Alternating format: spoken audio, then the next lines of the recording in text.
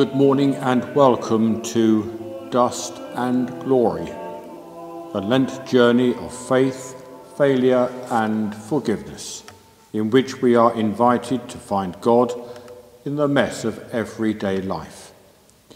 Here we are given the opportunity to consider the idea of failure from a range of different angles, and the difference God's redeeming work in Jesus makes to the struggles and the shortcomings of human life. Today is Monday, the 6th of March, and our theme today is Come Back Sin, All is Forgiven.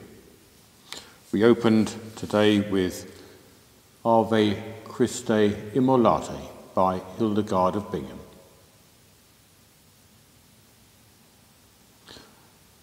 We adore you, O Christ, and we bless you, because by your holy cross you have redeemed the world. Jesus, Lamb of God, have mercy on us. Jesus, bearer of our sins, have mercy on us. Jesus, Redeemer of the world, grant us peace. Lord, by your cross and passion, Free us from evil and deliver us. Destroy the powers of darkness and deliver us. Free your creation from corruption and deliver us. Bring us to the liberty of the children of God and deliver us. For the kingdom, the power, and the glory are yours, now and forever. Amen.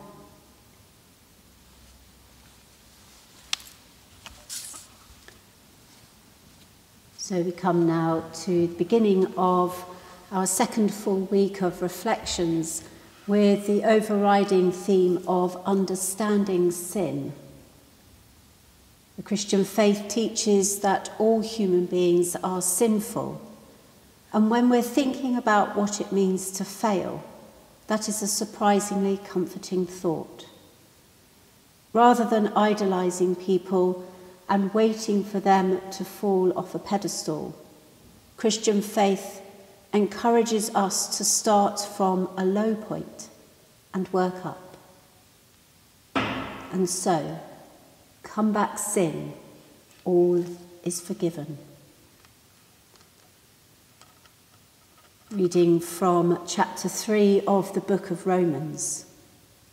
All have sinned and fall short of the glory of God.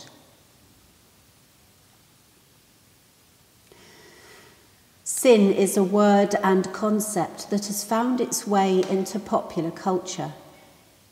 But instead of referring to the utter depravity of the human condition, it's associated with eating something you really shouldn't or telling a little fib. It's come to be a word you use in quotation marks with a wink, a fun little phrase that indicates something is naughty but nice. What happened to sin? Sin for Christians is really about separation from God. It's about those choices we make and temptations we fall victim to that are contrary to what God wants for us. Sin is really about ruptured relationship with God, with one another, and with ourselves. Between individuals and communities, in ways small and big. Sin is what keeps us isolated, hopeless, and suffering. Amen. And now, as our Saviour Christ has taught us, so we pray Our Father, who art in heaven, hallowed be thy name. Thy kingdom come, thy will be done on earth as it is in heaven.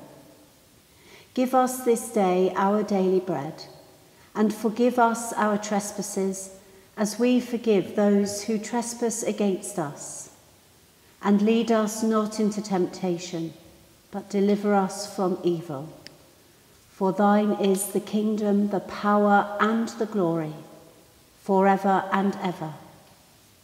Amen. And now our prayer for the week. Lord, we know that we are sinners. We rejoice that you sent your Son to die for our sins that we might be redeemed and saved by your love. Amen.